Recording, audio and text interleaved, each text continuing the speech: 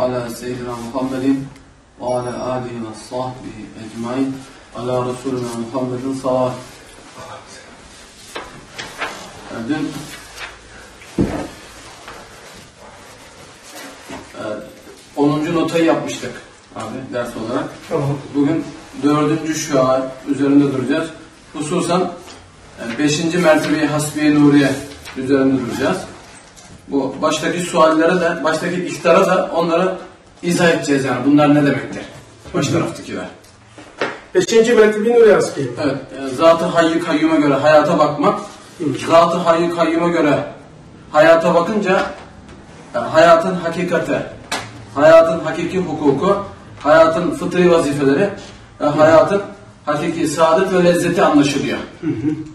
Ona ona göre bakınca, ona göre bakmayınca anlaşılmıyor. Üç tane şey. Dört. Dört tane. Dört tane mesela. Hayatın hakikati, hukuku, yani mahiyet, hayatın mahiyeti, e, hayatın hukuku, sonra fıtri vazifeleri, bir de hakiki lezzeti. Yani bu hayattan hakiki manada kim lezzet alır? Zat-ı hayy göre bakamayan lezzet alamazmış yani. Aldığını zannedermiş yani. Zan. Hmm. Zam gelin geldi bize. Zana geldik yani. Onu biz zanı dinlemeden gideceksiniz ha ben burada. Akşam şey yapalım abi ya. Akşam, Akşam yapalım abi. akşam vaktimiz var abi ya. Özetleyebiliriz yani. Çok güzel olur. Evet. Ee, zan o kadar mühim ki kaderin Allah'ın sana muamele şeklidir. Normal bir ders değildir. Zan Rab ismine bakıyor abi. Rab değil mi sana? Evet. Ben bulamadım daha. Ha, Rab ismine bakıyor. Mesela miracı bilemeyebilirsin. Bedeli de fazla o kadar yok. Ama zanı bilmezsen bedeli çok ağır. Evet. Yani bu dördüncü şu anda böyle üzerinde durulması gereken bazı noktalar var. Onları şey yapıp e, be- beşinci mertebe hasbiyle oraya geçeceğiz. Dördüncü şu an manen ve rütbeten beşinci lama ve sureten ve makamen 31. mektubun 31. lamasının kıymetler dördüncü şu an ve ayet-i hasbiyenin mühim bir nüktesidir. Şimdi dördüncü şuanın başında şöyle bir ifade var. Manen ve rütbeten beşinci lema. Yani bu dördüncü şua manen ve rütbeten beşinci lemaymış. Abi. Bununla ilgili noktayı nazar alın abi neden beşinci lema diye. Yok. Şöyle, şimdi Üstad Hazretleri bu muhakematta Nazım-ı Mani ile ilgili bir makale var ya abi. Orada böyle mantıklı konuşmak istiyorsan, bir metin hakkında fikir beyan etmek istiyorsan, ondan sonra e, derin ince manalara sahip olmak istiyorsan bunu bilmen gerekiyor diyor yani Nazım-ı Mani'ye. Ve de kendisi buna işaret-ül icazda 25. sözde külliyatın genel yerlerinde uygulamış yani. Bu e, muhakemat ileride tefsir yazarken bir alemin göz önünde bulundurması gereken noktalar yani hususlar. Bir mes- meselelerden biri de buymuş. Metnin nazmını bilmek yani. Yani içeriği, Siyak sıbatını bilmek, içeriği yani. içeriğini bilmek yani. Nazım yani içeriği yani. Yani Fil ma- listesi diyebiliriz belki de. Filiste ayrı abi. Ya ama yani içindeki mana mertebesinin Bu, gelişi. yani daha ziyade münasebet kurmak abi. Bu nazım mani. Yani fiiliste içindekini söyle. Yani içinde ne var? İşte Ahmet var, Mehmet var. Nazım mani ise yani Ahmet'le Mehmet'in ne münasebeti var? Niye yan yana gelmişler yani? Daha ziyade bunu yani siyak ve sibak, öncelik ve sonralık bunu birleştirmek. Aslında kainatta her şey tek. Vahdet hakim, tevhid hakim. iki tane bir şey yok. İşte mananın dizi, mananın dizilmesi de bu noktadan ehemmiyetli. Aslında tek mana var yani. Ama birden ihata edemediğimizden dolayı o ne yapmış? Cüzlere bölünmüş. Mesela birinci mertebe hasbi nuriye, ikinci mertebe hasbi nuriye, altı tane var. Normalde bu altısını birleştirin tek manadır yani. Çünkü kainatta tevhid asıl olduğu gibi, vahdet asıl olduğu gibi onu izah eden kelamda da öyle. Tek asıl yani. Ama işte herkes e, külli bir ihata edemediğinden, kalbi o kadar gözü olmadığından dolayı, intikal olmadığından, ihatası olmadığından bu da kelam da cüzlere bölünmüş. Muhalikat cüzle bölündüğü için. Şimdi ne demek manen rütbeten beşinci lama? Şimdi e, bu beş lamanın dizilişiyle alakalı. Bu dördüncü şu an beşinci lemaymış yani abi. Manen ve rütbeten. Şimdi birinci lemada ne var? Birinci e, lemada afaki tevhid anlatılmış. Yunus Aleyhisselam'a sırrı tevhid, e, e, sırrı ehadet, nuru tevhid içinde inkişaf etmiş. E, afaki tevhid, tevhid. Bu ikinci lemada enfüsi tevhid anlatılmış. Yani hastalıkla beraber başına gelen musibetlerde, hastalıklarda şikayeti hakkımız yok. Hastalıklardaki hikmetler anlatılmış. Enfüste bunu yakalamak yani. Birinci de afatta yakalamak, ikinci de enfüste yakalamak.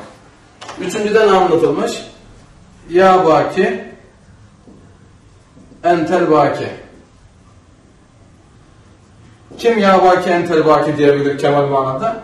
Şu ikisine azamet derecede veya yakalaması nispetinde bir insan diyebilir. Ya baki entel baki afakta ve enfüste. Dördüncü lemada ne anlatılmış? Muhammed Aleyhisselatü Vesselam'ın şahsiyeti manevesi.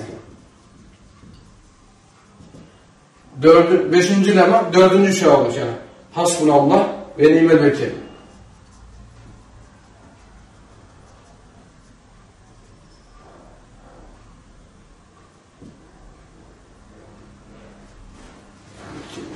Beşinci şov mu? Şey, dördüncü şu an beşinci lema olmuş. Ha, şu olursa beşincisi Deccal'a geçti. Şimdi manen rütbeten beşinci lema demesi neden? Yak- bildiğimiz zaman yani e, afatta ve enfüste tevhidin yakalanması nispetinde ya baki entel baki diyen kimse Muhammed Aleyhisselatü Vesselam'ın şahsiyeti maneviyesine girip Allah bana yeter, o benim vekilidir e, yakalaması nispetinde diyebilir. Bunu kemal manada Muhammed Aleyhisselatü Vesselam'dan sonra bir kişi demiş abi. Yani manen ve rütbeten. Beşinci lama Üstad Hazretleri de 64 yaşında ben hasbunallah ve nimel vekil diyebildim, gördüm, hissettim, hakkarikin zevk ettim diyor abi. Yani şeyin meratibi var ancak o zaman bu görmek, hissetmek, hakkalikin zevk etmek olmuş yani. Hani dün 10. notada ders yaparken bir kısım marifeti ilahiyenin delilleri vardı. Ne gibiydi? Nur gibiydi. Onda teveccüh edecektim, bekleyecektim. Mesela ben hemen anlamak istiyorum. Bu e, hasbunallah ve nimel vekil ayeti öyle değilmiş yani. Beklemekle alakalı bir durummuş. Müteveccih olmakla alakalıymış yani. İşte manen ve rütbeten beşinci lema buna bir noktayı nazar yani. Neden beşinci lema olmuş yani bu dördüncü şu. İhtar Risale-i Nur sahir kitaplara muhalif olarak başta perdeli gidiyor, gittikçe enkişaf eder. Hususan bu risalede birinci mertebe çok kıymetli bir hakikat olmakla beraber çok ince ve çok derindir. Hem bu birinci mertebe bana mahsus gayet ehemmiyetli bir muhakemeyi hissi ve gayet ruhlu bir muamele-i imani ve gayet gizli bir mukalemeyi kalbi suretinde mütenevvi ve derin dertlerime şifa olarak tebarüz etmiş, bana tam tevafuk eden tam hissedebilir.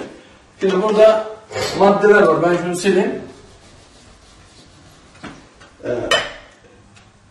Risale-i Nur Bak burada da başta bunu söyledi. Risale-i Nur başta perdeli gidiyor, sonra birden inkişaf ediyor. Niye hemen anlamıyorum ben? İşte o demin şu olduğumuz Nur gibi mesela Risale-i Nur perdeli gidiyor. Neden perdeli gidiyor? Sonra birinci mertebe çok kıymetler. Çok kıymetler. Çok derin. Çok ince. İşte mukaleme-i kalbi kalbi muhakemeyi hisse. Bir de ruhlu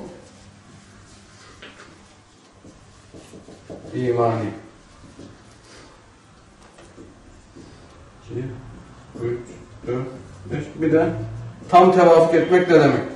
Tam tevafuk eden hissedebilir diyor. Eden hissedebilir. Bu ne demek?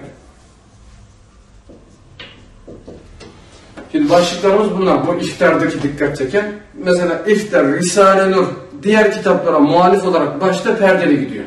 Sual Peki soruyoruz neden perdeli gidiyor abi? Niye Risale-i Nur hemen diğer kitaplar gibi, diğer e, divanlar gibi okuyup hemen anlaşılmıyor yani? Neden perdeli gidiyor? Abi şimdi ne diyebiliriz? Takdim et sen ne diyorsun? Yok ben şimdi soru sor, noktayı nazarınıza alayım da ona göre abi. Neden yani? Ben şimdi mevzuya biraz girsem farklı olacak da gidişat değişir yani. Biraz farklı bakıyorum. Niye perdeli gidiyor? Bir şey yapın abi. Sen bir anlat bakalım. Şimdi neden Risale-i sahip kitaplara muhalif olarak başta perdeli gidiyor? Şimdi buna zamanla da bakabiliriz, enfüse de bakabiliriz. E, zamanda bir inkılap olmuş yani. Harf inkılabı olmuş, toplum içtimai yapısı değişmiş, böyle konuşmalar değişmiş. Risale'de has biraz e, Osmanlıca Türkçesi olduğu için biraz tabirlere özellikle bu dördüncü şu an 24. mektup 29. söz tamamen hep tabir yani tabirlerin içini doldurmak gerekiyor ki e, kastedilen mana anlaşılsın yani. Şimdi insan Risale okurken bir kısım latifeler var. Aklın ve şuurun, şey, aklı ve kalbin şuuruna tabi. Bir kısmı var ki akıl ve şuura tabi değil. Şuursuz istifade ediyor. Yani kim okusa istifade ediyor. Ama içine girmek istiyorsa biraz meşguliyet iktiza ediyor yani. Biraz Bu perdeli gidiyor deyince örtülü mü gidiyor anlıyorsun? İkisi de galip bu yıl şimdi deyince değişti. Şimdi perde sinema perdesi gibi düşün, toprak perdesi gibi Evet. düşün. Aslında perde de en çok açma manasında, kapatma manasında az kullanılmış. E, perdeli gidiyor. Yani mesela bir toprak perdesine neşinoma yapıyor ya. Evet. Şimdi Kur'an'la muhatap olmamış bir toplum var böyle. Acayip bir şey yapılmış. Perdeli gidiyor o kadar acayip, acayip böyle perdesinde Kur'an aksediyor ki öyle bir gösteriliyor ki Risale baktığın zaman e, Ris- Risale'ye baktığın zaman hiç kimse hatıra gelmiyor. Ustad gelmiyor. Direkt ya Kur'an ya. O zaman şimdi biz buradaki e, başta sahih kitaplara muhalif olarak perdeli gidiyor. Demek ki bizim anladığımız kapalı manasında değil, Değil o. hakikatlara perde olursan sen de gözüküyor manasında. Ya tabii baksana sonra bak ne yapıyor? Kıymetler derin, ince. Evet. Sonra seni içeriye taşıyor. Yani ne yapıyor biliyor musun Risale'nin? Zahirde perde gözüken var ya toprakta. Orada her şeyde bir kü- küngan gibi yani boruyu suyla taşımıyor. Her yerde suyu çıkarıyor ya. Her yerde bunu gösteriyor manasında. Açıyor. Çünkü sinema perdesi örten değil, her şeyin ortaya çıktığı yer. Kimse perdeyi görmüyor ki filmi görüyor ama perde lazım perdeli gidiyor. Yani hakikat çok vazih ifade ediliyor. Sındık da bir şey diyemiyor. Sonra seni içeriye taşıyor. Çok güzel abi. Öyle örte manasında değil. Değil. Mesela toprak perdesi diyor. Peki buradaki galip mana gösteren manasında mi? Gösteren manasında. Yani mesela şu tarikatta ve diğer meşreklerde, diğerlerde dedi ya diğer ulemanın kitapları ne yapıyor? O onu yaptı, o da onu yaptı. Mecburen e, silsile gidiyor. Risale ve Risale her yerde, her şeyde bütünsel olduğu için her şey, biraz önce dersin başında dedi ki, e, her şey aslında tektir. Evet. E, nerede göstereceksin onu? Nasıl göstereceksin? Bir yere mi taşınacaksın? Bu fikre nasıl taşınacaksın? Nasıl nasıl iz takip edeceksin? O onu yaptı, onu yaptı. Adam 15 sene lazım. Onun aşması için, bir haşır meselesini anlaması için. Ulema. O zaman Risale perde gidiyorsa onlar açık gidiyor. Doğru. Değil yani. Risale-i Nur hemen 40 dakikada onların 15 senede varması gereken şeyi hemen gösteriyor. Gösteriyor. Gösteriyor. Perde açar değil. İlmi kelamda abi sizin demek istediğiniz yani teselsül ve silsile var. Ha, o yok işte. Üstad o teselsül ve silsileyi kullanmamış. Kullanmamış. Esbab ve müsebbabat Bak şimdi, kullanmış. e, sebeple neticeyi aynı yerde göstermiş. Aynen. İktira var ya, hemen orada gör, hemen işini bitiriyor. O zaman İşini- buradaki Evet. baş, başta perdeli gitmesi e, bizim bildiğimiz manada perde değil, lisanın uslubuna, anlatım tarzına alışmak yani. Yani perde mesela insan, evet ustur da, yani neticeyi zahirde, şeyde bir söz var, şey kelime var, 20, 27. pencerede. Ne diyor biliyor musun? Aynı e, zahir içinde hakikati müşahede etmek. Aynı zahir. Evet. Neticeyi müşahede ediyorsun. Bir bakıyorsun mesela İlk cümleye de bir bakıyorsun orada anlatılmak isteyecek sayfada zaten sana komprim olarak vermiş. Evet.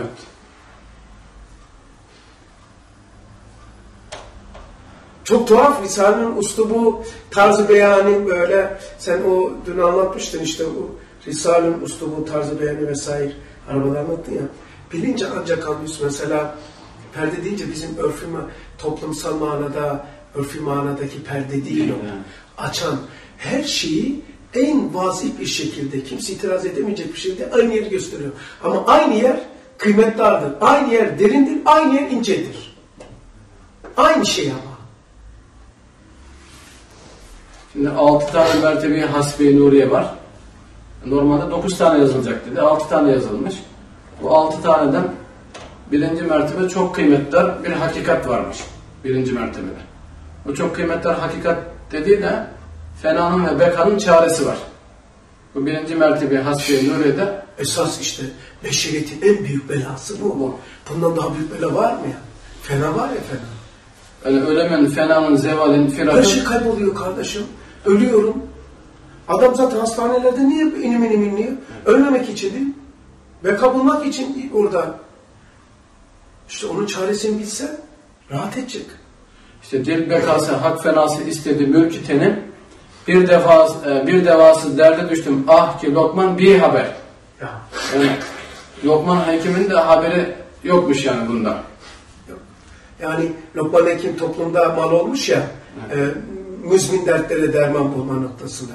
Bu toplumun anlayışındaki ve insanların anlayışında Hekimi Lokman, Lokman Hekim bile iş yapmasa, o bile bunu da bilmiyor. Onun bile haberi yokmuş. Onun haberi olmadığı şey bu birinci mertebeye hasbi nurede tespit edilmiş. Kıymetler dediği o yani. Ya, hele benim o beşinci mertebe Nur Bey var ya, Evet. orada şey diyor, hadsiz evham zulümatında. Evet. Allah Allah. Sırf o cümleden iki üç dersim var. Sırf o cümle ha. Bak hadsiz evhamı zulümatından. Oradan girdi Murat. Zulümatla karanlık nedir? Niye zulümat diyor? Zulümat, ha, Zulümat kalbidir, Kalbidir. karanlık aklidir. Evham zulümatından diyor. Ama hadsiz. Bir de ikinci dalda söylüyor Katre'de. Zulümat. Bir de 741 lematta söylüyor. Cehli cehennemi anlatırken cehennemin buradaki dün manasada yaptık ya sureti burada ahiretin bu hak, sureti olan dünyanın hakikati ahirettir. Şimdi burada e, burada şeyi gösteriyor. Mesela cehennemi cismani mümin için. Mümin, günahkar, Müslümanın cehennemi birinci tabakasına çekeceği azaptan daha fazladır kafirin dünyada aldığı cehennemi ruhani. Evet. Onu anlatıyor. Evet.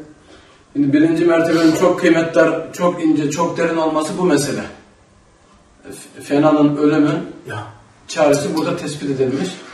İşte aynı meseleyle Psikoloji anlatılmış. derslerimiz daha çok bu zamanda ehli iman dahi gaflet nedeniyle imanından lezzet alamıyor. Evet. Cehennemi hal yaşıyor yani. Cehennemi yaşıyor. Sizin dersler zaten en çok ondan tutuluyor yani Evet. bu psikoloji şeyler. Evet. Çünkü adamda hiç sıkıntı yok, namaz var, ne vesvese risalesi ezberlemiş adam var demiştiniz abi siz. Evet, var. Tamamen ezberlemiş adam ve kadınlar var. Yine var. Diyor ki ben bende niye var? Şimdi dolduramıyor değil mi? Yok canım böyle şey yapmış. E, suretinde kalmış. Yani tabirleri dolduramamış tamam mı içini? E, imanından lezzet alamamış. İçini dolduramamak ne demek biliyor musun? Ne ezberlesen ezberle. Komple ezberle. Değil Risale, Kur'an ezberle. Her gün oku. Kur'an komple oku. Olmaz kardeşim. Terklerin olmadıkça. Terklerin olmadıkça te- aktif değil o içeride. Mesela içeride çamaşır makinem var. Nadir abinin bak var. 30 senelik makine hiç kullanmamış. Bir sürü poşet aldın sen. Tamam marketten yiyecek aldın, ekmek aldın. Hepsi poşeti kapalı. Ya abi ben çok şey aldım. E lan kullandın mı? Kullanmadın. E nerede, evinde ekmek olması, kuru fasulyenin olması kullanmadıkça ne emniyeti var onun? Yani tekler olmadıkça ezberlediklerin, okudukların, gittiklerin yer aktif olmuyor.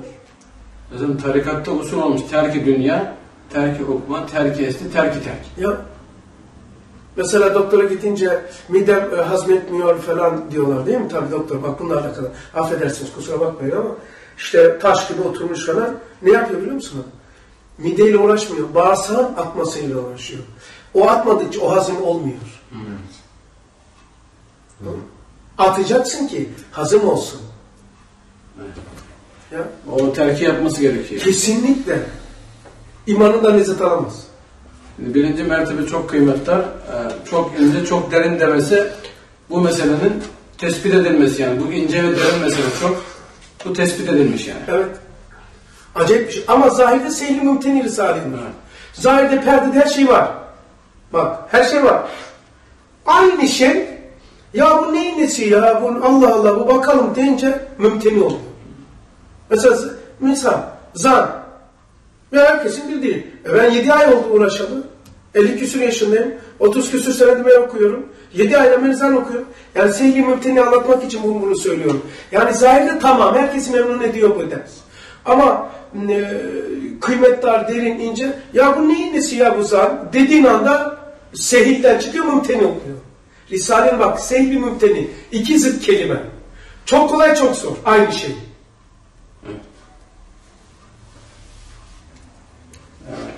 Mukademe-i kalbi muhakemesi yani birinci mertebe hususan diyor. Diğer altı mertebe kalbi konuşmalarmış. Hissi düşüncelermiş yani. Normalde muhakeme akli oluyor yani. Ama hissi demiş yani. Şimdi bir insan da nasıl mukademe-i kalbi, kalbi olarak Allah'la görüşür, hissi düşüncelere sahip olur. Bu yaklaşık 12-13 tane hemle anlatılmış yani. Bu mukalemeyi kalbi ne demek? Muhakeme hissi ne demek? Bir insan nasıl kalbi olarak Allah ile Ha görüşür? işte bak işte, işte onlar işte ya. Bunlarmış yani. Mesela bir tane okuyayım ben. Çok ilginç ama. Hem o şuuru imanla. Şuuru iman dedi Allah bana yeter o ne güzel vekil. Şuuru iman dedi o. Yani konuyla münasebet kurduğumuz zaman hem o şuuru imanla. Yukarıdaki konu ne? Hasbunallah ve ilme vekil ayeti.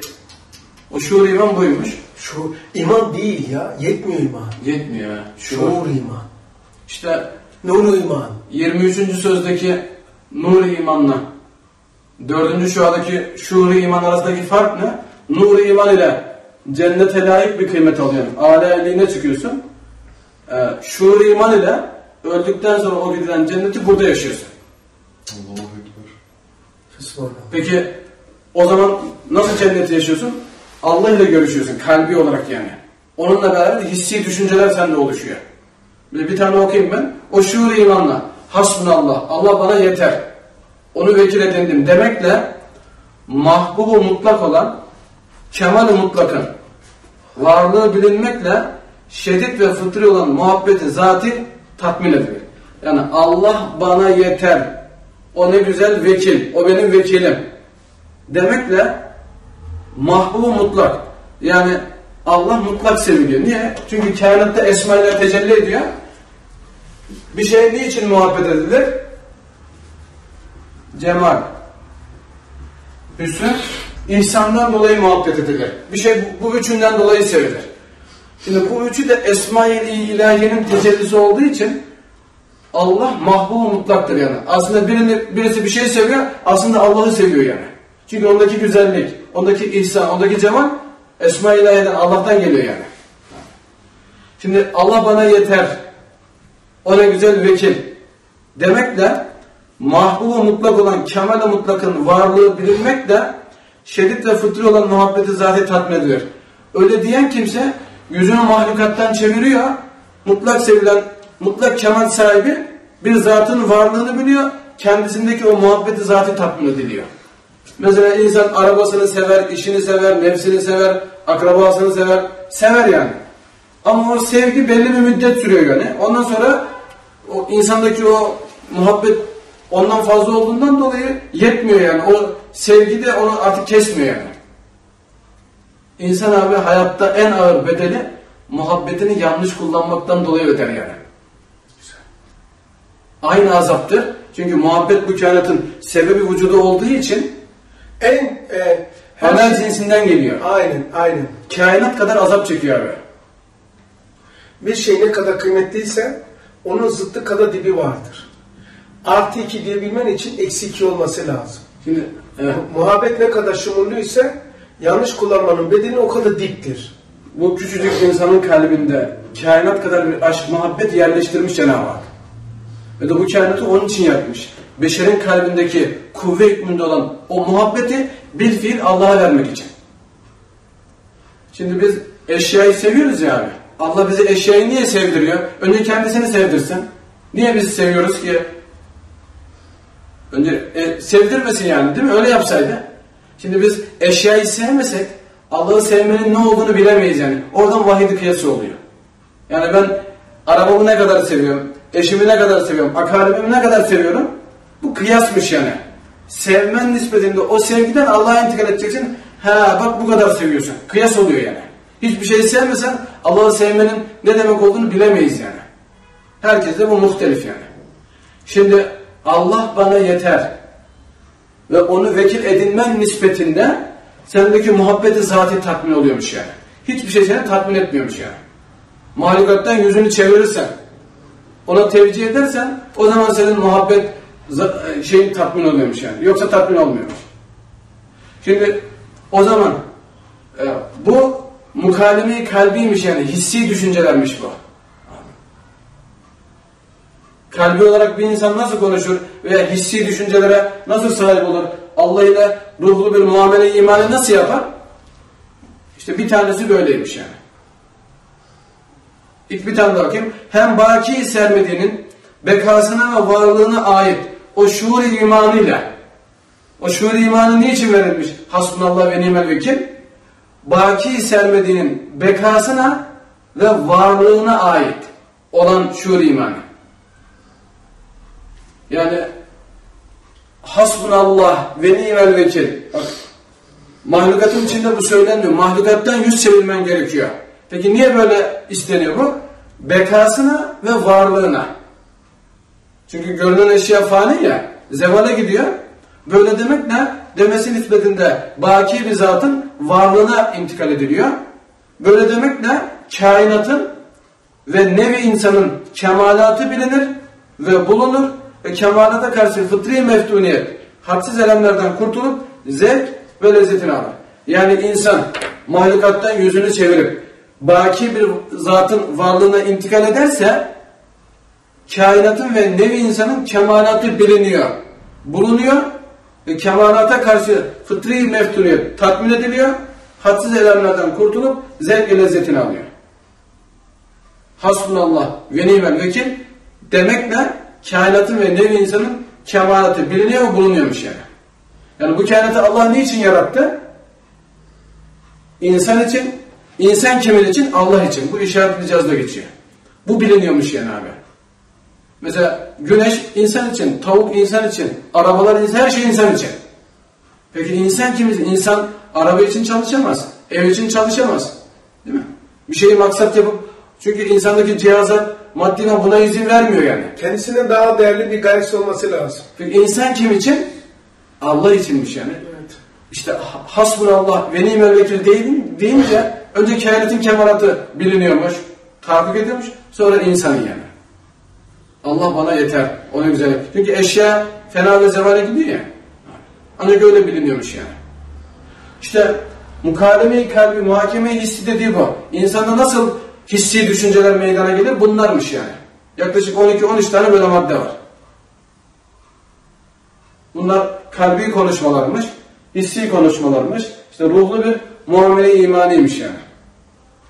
Bir insanda nasıl böyle düşünceler meydana gelir? İşte e, bu şekilde intikal etmekle yani o şuur imanıyla yani. Onun demesi nispetindeymiş yani. Allah bana yeter, o ne güzel vekil. Demesi nispetinde kalbi konuşmalar, hissi düşünceler o kimsede meydana geliyormuş. Allah bana yeter, o ne güzel vekil demekle yani. Şimdi bir tane şey yapayım da şurada. Mesela vekil ne demek? Normalde esbaba riayet ettikten sonra ona havale etmek yani neticeye. Ha işte. Bu da çözülmesi lazım. Evet. Hani anlat şey oluyor. Vekil e, İslam hukukunda yani Kur'an'da şöyle geçiyor. Vekil asıl gibidir. Mesela borç borç yaptı, seni vekil etti. Kefil etti. Tamam mı? Kefil, vekil. Asıl gibidir. Mesela sen vekil ediyorum. Gidip benim adıma icraat yapabiliyorsun. Aynı ben. Tamam mı? Bu terakki ede ede ilk önce o perde budur. Vekil. Sonra e, o muhakemeyi, kalbi, hissi, ruhlu şey var ya, Evet. o vekil yapa yapa sende artık beni temsil ede ede ben oluyorsun. Bu bütünsellik, işte bu vekalet oraya gidiyor. Bendeki o mu açığa çıkıyor? Evet. Bendeki o. Bu sefer artık e, onun adına bakıyorsun, onun adına yürüyorsun, fenafille oluyorsun. Artık yürüyen ayağı, gören gözü, işiten kulağı oluyorsun. Bak onun adına tasarruf ediyorsun. Tamam mı? Hasbunallah benim, vekil diyebilmen için o onaylaması lazım.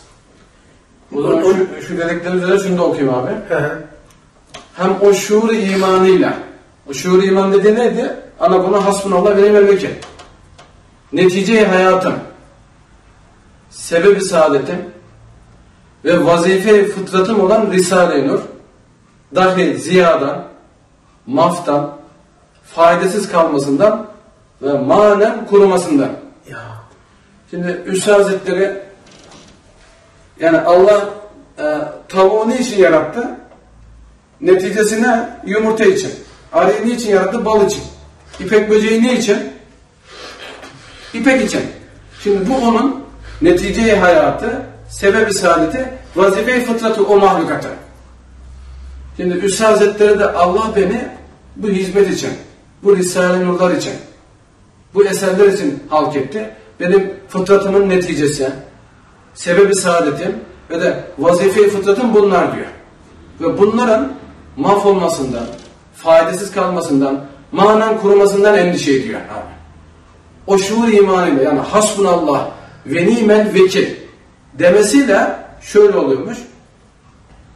E, maftan faydasız kalmasından, manen kurumasından kurtulmalarına o şuur imanıyla ve meyveden baki kalmalarını o intisab-ı imani ile bildi.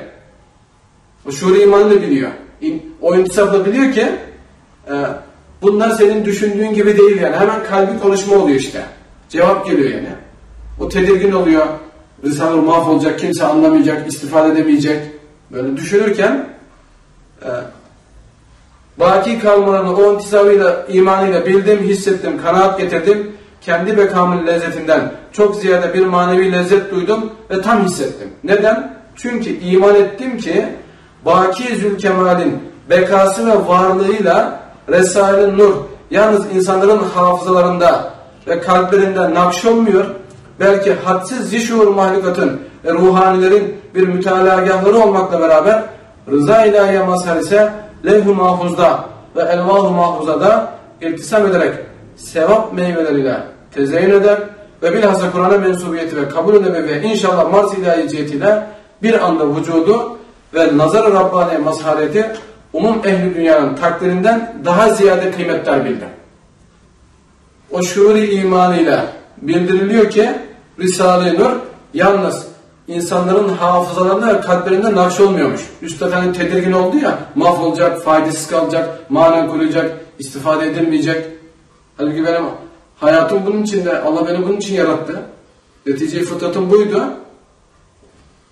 Ee, o zaman bildiriliyor ki, kalbi konuşmada bildiriliyor ki, hassiz zişur mahlukatın ve ruhanilerin bir mütalagahları olmakla beraber Risale-i Nur. O tedirgin oluyor da anlamayacak insanların hafızalarında ve kalplerinde nakş olmayacak diye. Mütalagahları olmakla beraber rıza-i ilahiye mazhar ise levh-i mahfuzda ve elvah-ı mahfuzda irsam ederek sevap meyveleri tezeyyin ediyor, ziyadeleşiyor. Ve de e, Kur'an'a mensubiyetiyle kabul-ü nebevi ve inşallah marz-ı ilahi bir anda vücudu ve nazar-ı Rabbaniye mazhareti umum ehli dünyanın takdirinden daha ziyade kıymetlerdir. Bildim diyor. Hani o düşünüyor diyor Risale-i mahvolacak, ziya olacak, istifade edilmeyecek, şöyle olacak. Yani şu cihetiyle bütün ehli dünyanın takdirinden kıymetliymiş. Kur'an'a mensubiyeti ve kabulün nevevi noktasında bir anda vücudu kafiymiş yani. Evet, doğru. Yani kimse okumasa da diyelim e, sürekli meyveler veriyormuş yani. Cenab-ı Hakk'ın e, marziyet ilahiyatine mazhar olmuş yani.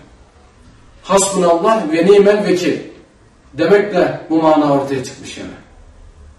Bu işte hissi oluyor. İşte kalbi konuşma ve gayet ruhlu muamele iman. Subhaneke la ilme illa ma allamtena inneke entel alimul hakim ve ahiru davahum enilhamdülillahi rabbil alemin.